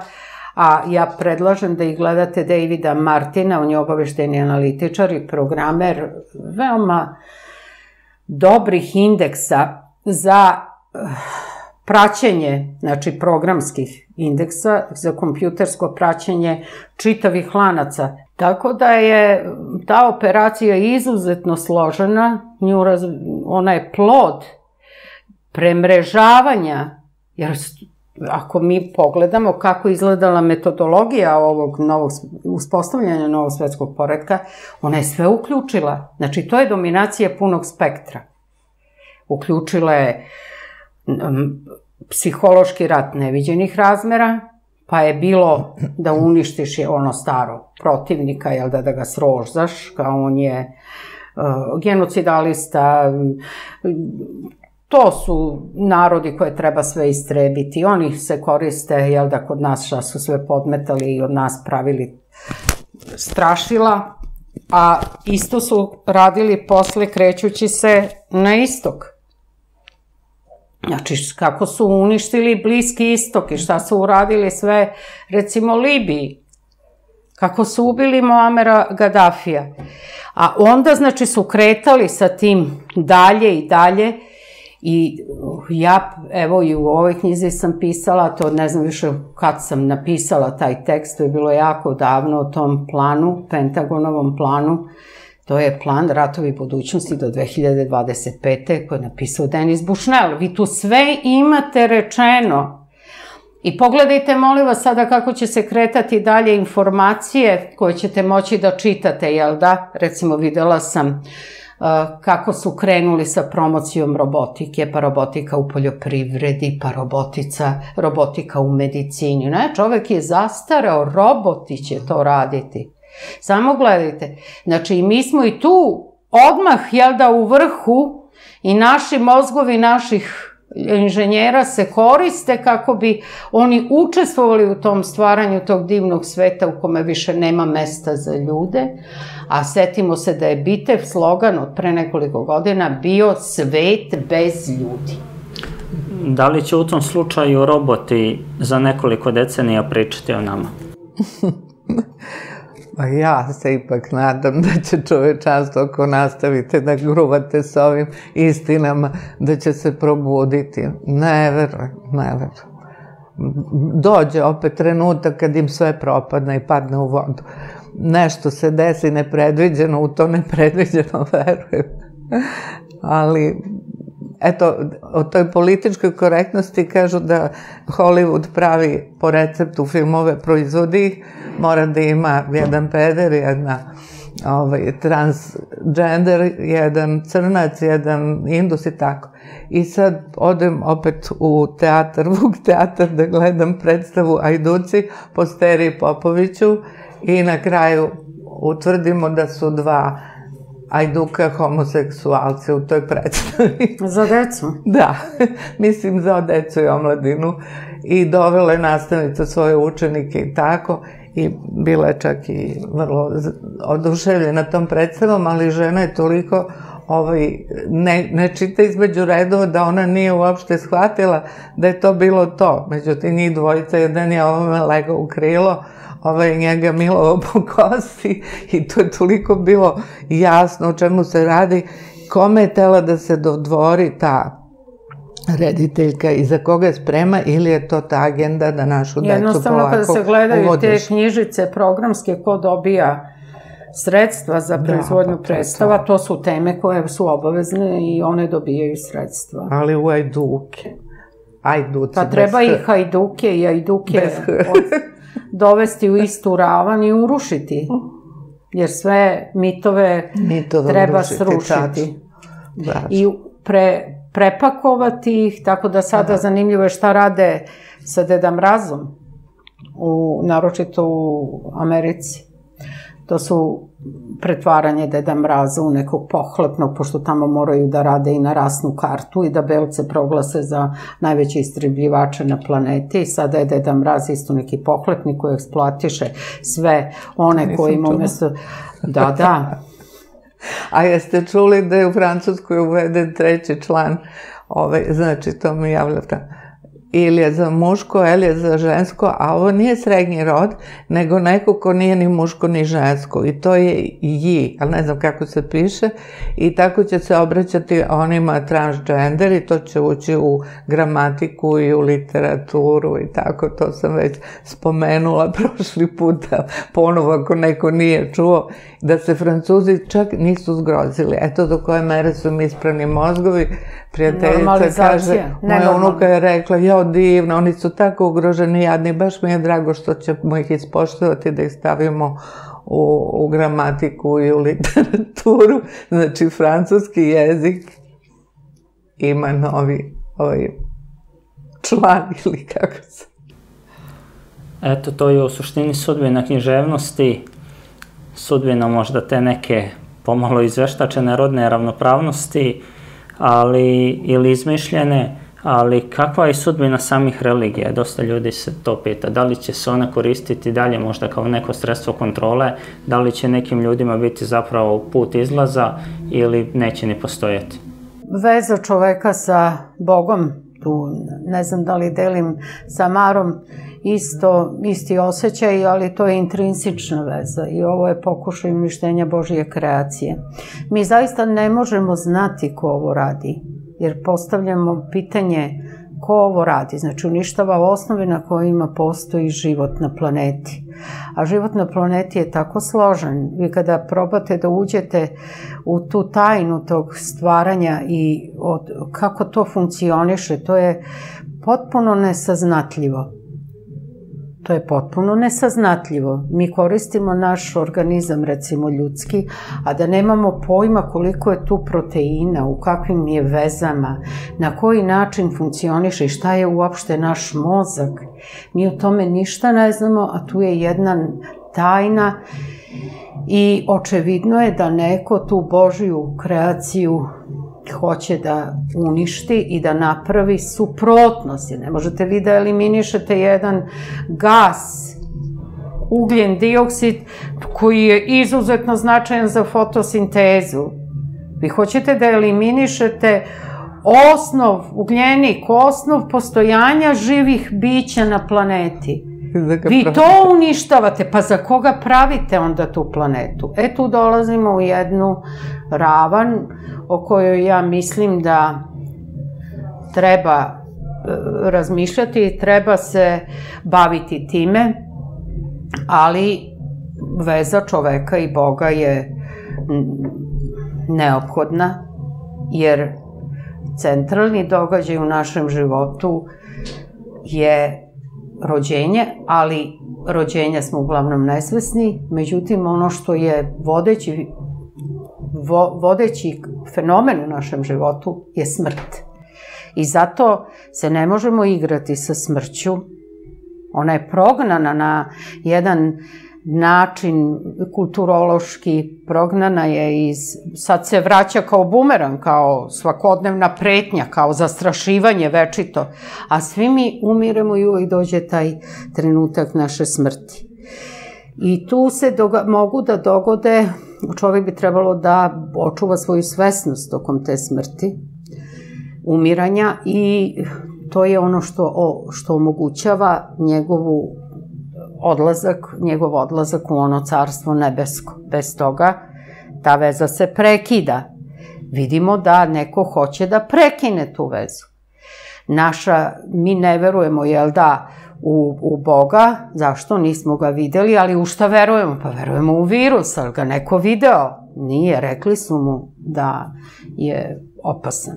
E, to u vezi Boga i religije, kako vreme prolazi, e, ja sam sve više fascinirana uopšte tom filozofijom hrišćanskog i, i tim e, kucima koji predstavlja crkva kao sklonište duha i tim ritualima i ja sam strašno ovaj, zavidim ljudima koji u, u crkvu ulaze ispunjeni onim sadržajem koje ona stvarno nudi, ne crkva nego uopšte ideja i, i Bog kao takav i onda težim sebe, eto, pošto ja verujem u čoveka, i volim ljudska bića, to znači da ja volim Božju kreaturu, to znači da ću ja negde se iskupiti kod Boga što nisam bila vernik, ono, zvanični, ali sam se ponašala prema onome što je on stvorio sa velikim poštovanjem i čini mi se to što kažu da neki ljudi pod starost postanu vernici, nije to zato što su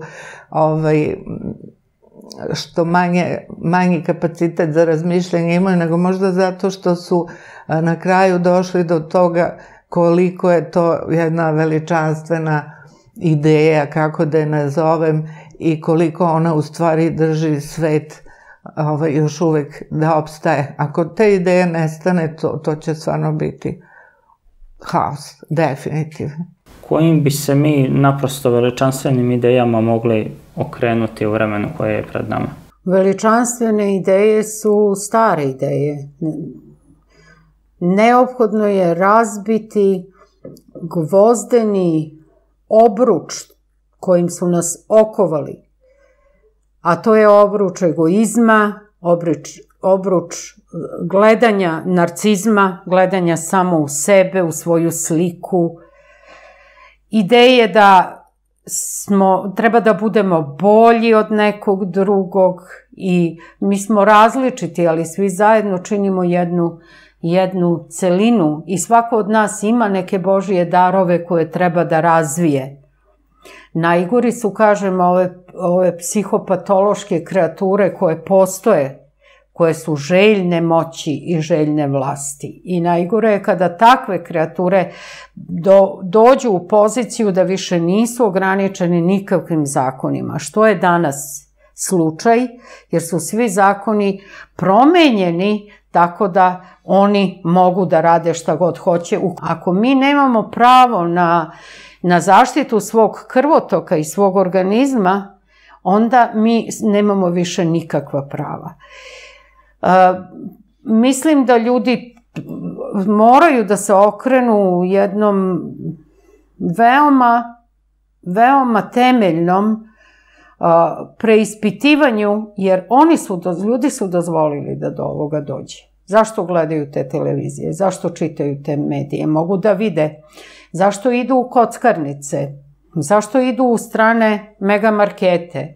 Zašto ne kupuju samo ono što se proizvede kod nas? Dobro, sada imamo taj problem veliki jer se sada kod nas ne proizvodi najveći broj stvari koje se tiču i tehnike i tehnologije. Ali što se tiče hrane, odeće, obuće, to bi morali sami da proizvodimo i okre, o, moramo se okre, okretati jednom takvom, jednim takvim vezama da međusobno jačamo jedni druge. Taj obrazac tog narcističkog ponašanja je poguban jer narcis je, gledajući u svoju sliku, upao u to jezero i utopio se i nije mogao ni da čuje glas nimfe koja ga upozoravala da kako je opasno gledati u svoju sliku i samo u to. Zatim moramo da zaštitimo decu. Ako to nismo u stanju da uradimo, mi onda ne možemo da postojimo. A možda i ne treba više da postojimo. Jer to je poslednja linija odbrane, to je poslednja granica. Ako smo toliko glupi da verujemo tima koji su ceo sve pretvorili u pakao u proteklih 30 godina su pretvorili svet u pakao i danas smo mi u paklu. Mi treba da verujemo kad nam kažu nauka i tehnika, pa gde ti je ta nauka i, i, i gde je taj napredak? Ja vidim samo nazadovanje. Ja vidim sada smanjenje životnog veka, ljude koji nestaju. Ljude koji se razboljevaju, ljude od užasnog straha da će biti bolesni. A taj strah je najveći uzrok bolesti, oni ga stalno plaše, plaše, plaše. I, I još da ne govorimo o, o kancerima i svim ostalim što se, što se proizvodi. Moramo biti na nivou onoga što treba da budemo da bismo živeli, ali ne treba smrt shvatati kao, treba je shvatiti kao uh, ishod naših života. I, us, I sa tim uskla, uskladiti svoje ponašanje.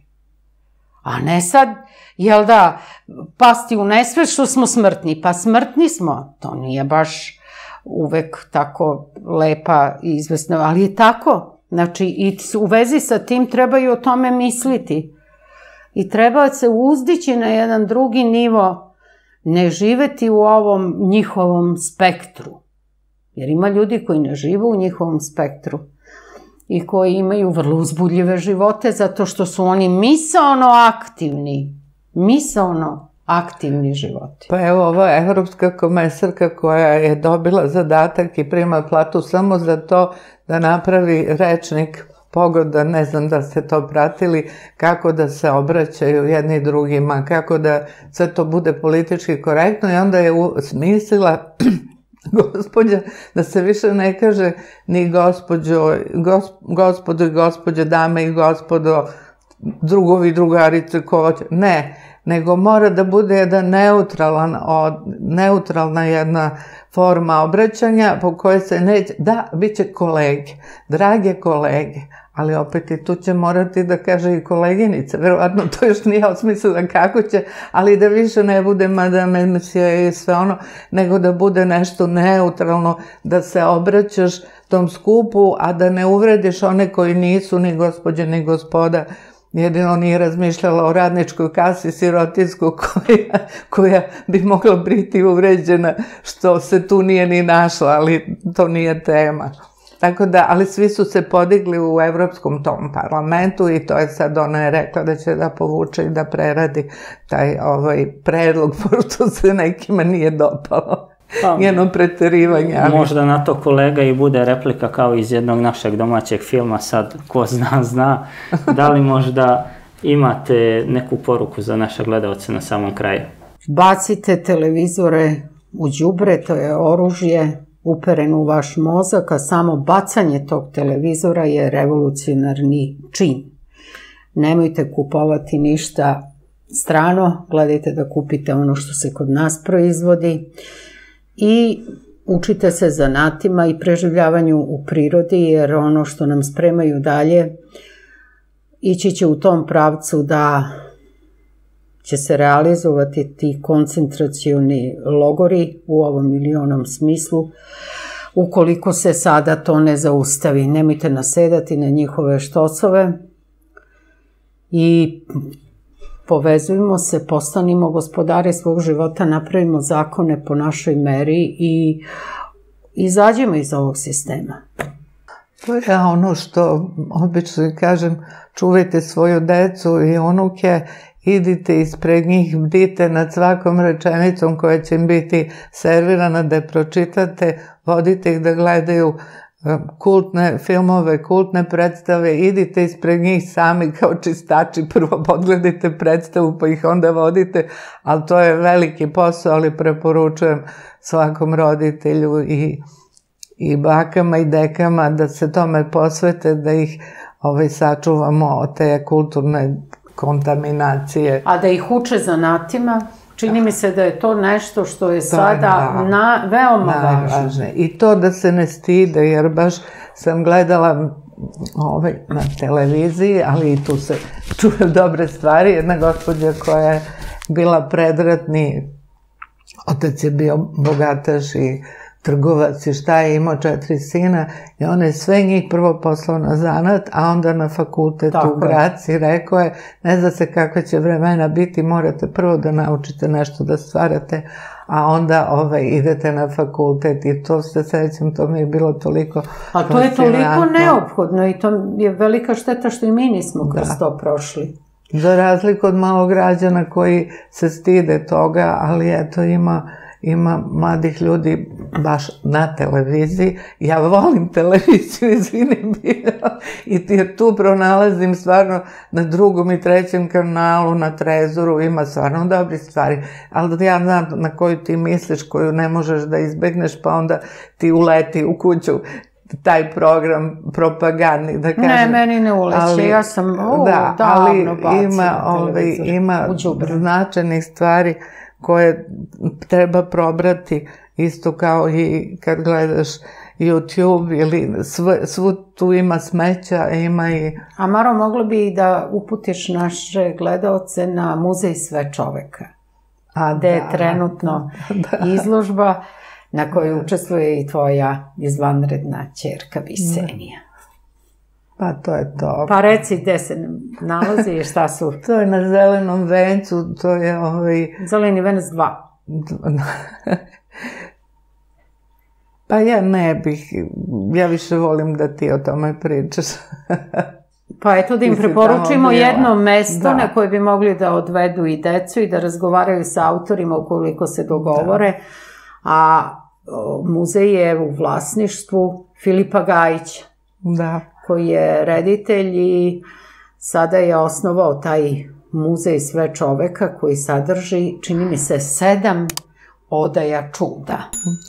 A ostalo da, pre, da prepustimo našim gledalcima da odu i da otkrivaju ta čuda. I to, Ali zaista je, i tu neće biti neprijatih izrađenja Biće, za roditelje. Znači, neće ne, niko svirati na Možda se sada iznenađuju kad vide tako nešto, s obzirom da, na da. ovo što vide stalno. Jeste. Ovo im više nije neobično. Hvala vam puno na vremenu i hvala vam što ste bili moji gošći večeras. I hvala Nemanja. Hvala na strpljenju, ovo je trebalo izdržati stvarno. Nadamo se da će gledalci biti dovoljno izdržljivi. Poštovani gledalci, pratili ste emisiju Aktualno produkcije Balkan Info. Hvala vam na pažnji i prijatno. Hvala svima koji verno prate naše emisije i žele da pomognu u radu naše produkcije. Možete nas podržati simboličnom donacijom ili kupovinom naših proizvoda na sajtu balkaninfo.rs.